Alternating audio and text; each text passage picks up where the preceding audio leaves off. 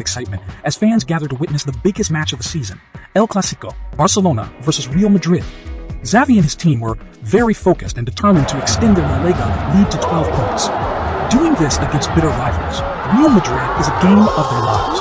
Very entertaining game from start to finish, filled with lots of tension.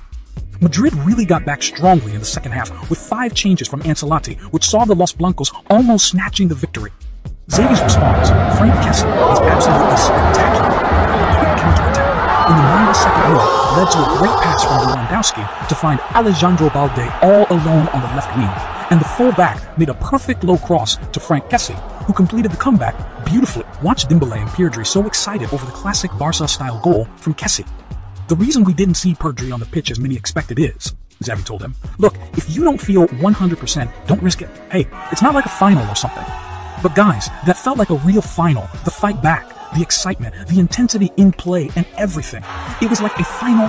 Barcelona supporters are singing and chanting, filling the air with energy and excitement. The atmosphere is electric. The celebration is magical. It just looked like Barca has won the league already. And the title is Barzaziv if they avoid any monumental slip-up in the remaining 12 matches of the season. Xavi's wild reaction to the goal was really emotional and justifiably so. Kessie, the super sub, and the players went to the fans to celebrate in the corner. His former boss, Pep Guardiola, was present to watch his student tear Madrid apart once more and possibly pick some few notes on how Xavi had consistently stopped Ancelotti's side. Barcelona fans have been reveling in a number of scenes emerging from El Clasico as the wild celebrations was everywhere inside and outside of the Camp Nou. It was an amazing night, and the celebrations continue